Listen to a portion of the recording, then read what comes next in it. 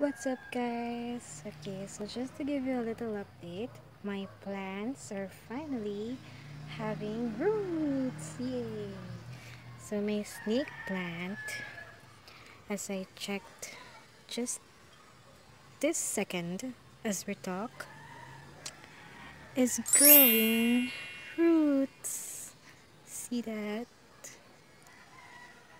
So it's been here since I cut it like two weeks now. So it's a little slower than uh, expected, but I'm just happy that it's growing roots already. This one, the green prince as they call it in English, and echeveria, if I pronounce it correctly. This one I just um, transferred it here in the water um, for about two days now.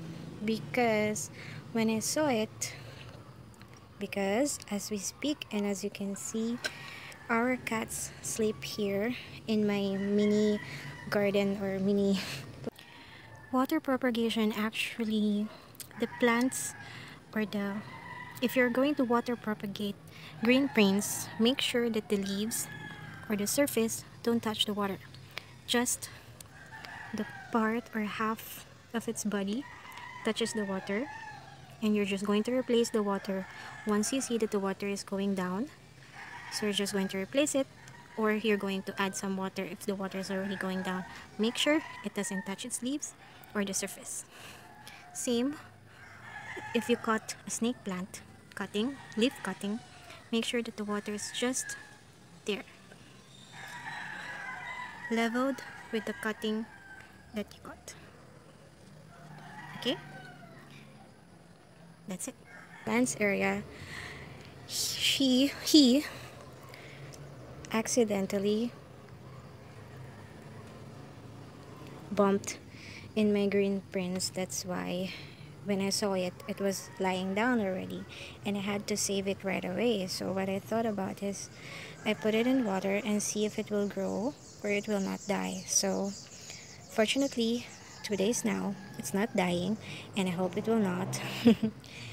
Here, I put some calamansi seeds and I put this um, styrofoam para lang um, the sun won't directly um, put its rays on them and then this one is fortune plant my grandfather gave it to me and my grandma. It's in water. I'm going to transfer it into a bigger jar like this. Because they said if you put it in water, it will grow slower and it will not grow as big as those fortune plants you see. Um, it's not here. But we have a big fortune plant that grew like six feet or seven feet tall so this way when you put it on water it won't grow that big there I will transfer it into a bigger jar like this okay. And then this one I'm trying to see if that little spout will turn into a big green prince. So I'm just gonna wait for that. My black prince on the other hand grew like what I did here. This is a leaf cutting of the green prince.